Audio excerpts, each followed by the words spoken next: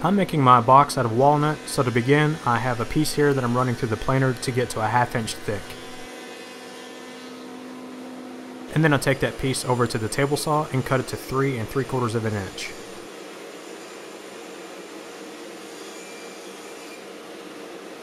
Next up at the router table, I use a quarter inch spiral bit and cut a quarter inch by quarter inch groove for the bottom panel. Next up is the table saw where I have my dado blade installed to cut a 3 8 inch wide cut at a quarter inch deep. This is for the top. And I also take the opportunity while the board is long and wide like this to go ahead and sand it. So I hit it with 80 grit, 120, and 180 grit sandpaper uh, with my orbital sander. I like to pre-finish the insides of my boxes, so I spray a couple of coats of this shellac before I cut the miters. After the first two coats dried, I sand the surface using the 220 grit sandpaper and spray two more coats. And to remove any excess dust, I just like to use a brush. I head over to the miter saw and cut the six and a quarter and eight and a quarter pieces. Next up is time to cut the miters. I'm using my crosscut sled with the blade tilted to 45 degrees and I put a miter on one edge of each of the four boards. Now I'm going to focus on the smaller 6 inch pieces and I'm going to mark it at six inches up here on the top. I'm going to line it up with the kerf in the fence and to make sure I can get repeatable cuts I'm going to put a stop block up against it. With the stop block in place I cut both of the six and a quarter inch pieces to six inches. And now I'm going to measure eight inches and make the cuts. And while I'm at the table saw I cut the bottom panel to size. And just like a majority of my projects, my glue of choice is to use this hide glue from Titebond.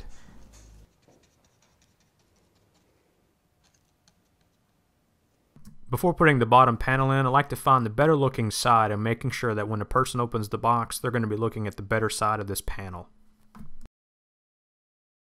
With masking tape on the back to act as clamps, I go ahead and put this box together.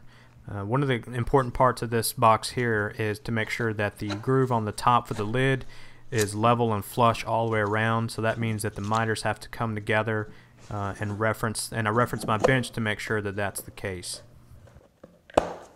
Before taping the last corner I push the whole box down referencing my tabletop to make sure that everything is flat.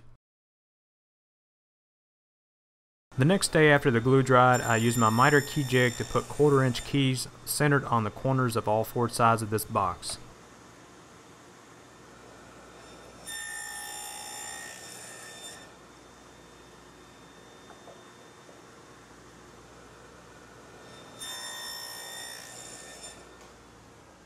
The dado blades left a quarter inch groove in the box, so I just cut some scrap walnut to a quarter of an inch thick. And I made sure to test fit these before actually putting any glue on it because the glue can sometimes cause it to swell, although the hide glue not as much. Um, but you don't want to fight with it once you have glue on it. Uh, so just test it. If it fits, put the glue on it. And once the key is in, I like to look at both edges to make sure that there's not a gap and that the key is seated properly in the groove. And then I let them set for about two hours to make sure the glue dries before cutting away the excess. I wipe a thinned coat of seal coat shellac on the surface of the box, making sure that when the pore filler is applied, it doesn't change the color of the box, only fills the pores. There are several different ways to fill pores, and in this project I'm just using some Timbermate wood filler as my preferred method. Uh, it's pretty easy to apply. This is a brand new can, so it was relatively soft, but I recommend adding a little bit of water to the wood filler just to make it easier to apply. Uh, and the key here is to work across the grain, making sure that you get the wood filler in all of the pores. And you want to remove as much of the excess that you can, making sure to leave it in the pores and not removing any. And you want to just continue your way around the box on all four sides. And you'll know when the Timbermate is dried because it turns into a chalky color as you can see here. So after that dries, we're ready to sand it off. To finish the outside of the box, I'm spraying 4 to 5 coats of shellac using the same method that I did on the inside of the box. The lid on this project is what really makes it stand out in my opinion and I'm using some walnut burl veneer and it's pretty wavy so to, to flatten it I use a super soft 2 from Veneer Supplies um, and I just spray it on both sides of the veneer and then I put it inside of my shop made press uh, separating each piece of veneer with paper towels and I leave it in the press overnight changing the paper towels every 6 to 12 hours.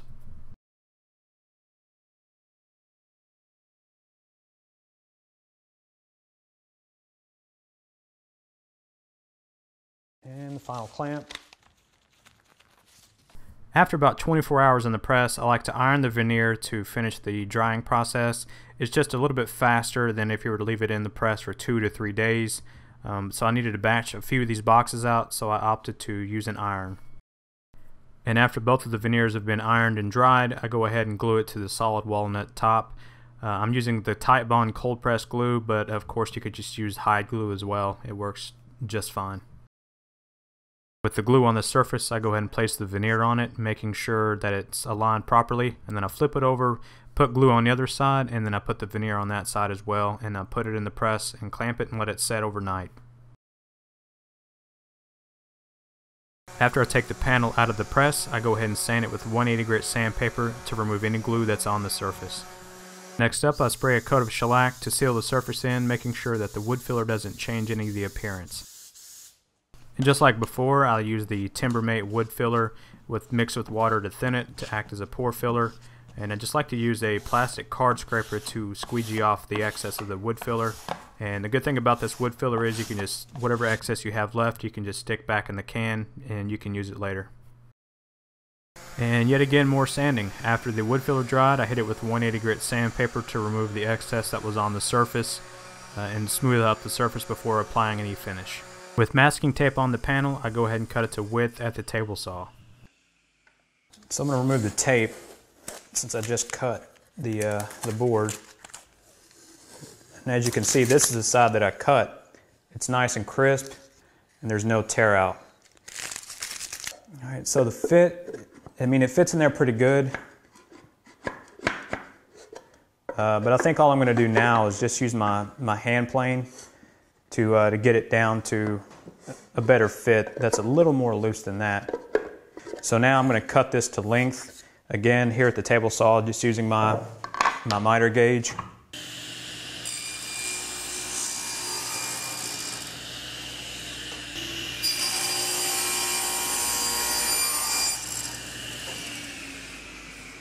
And just like on the box body and throughout the project, I'm just going to spray a few coats of shellac on the lid.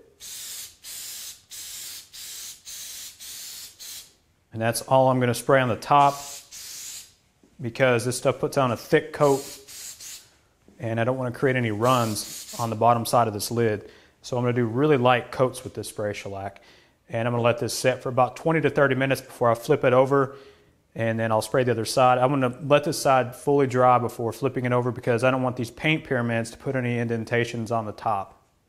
And after the first two coats of shellac dried, I sand the surface using this 320 grit sandpaper. I'm using my scratch awl to, to make a starter hole for my drill bit. And speaking of drill bits, the one that I had that fit the closest was a 9 16 of an inch drill bit. And I have a piece of tape on here to act as a stop so I know how far to drill. And then when I removed the tape, everything was nice and clean, no tear out because that was a concern drilling into this veneer. And this is a 5 8 inch brass knob that I picked up from Horton Brasses. I will link to that information in this video description on here on Simple Cove.